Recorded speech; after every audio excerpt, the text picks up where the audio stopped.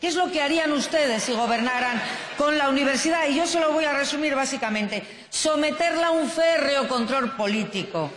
Nombrar un comisario político por encima incluso del Consejo de Universidades. Ese es su modelo de universidad.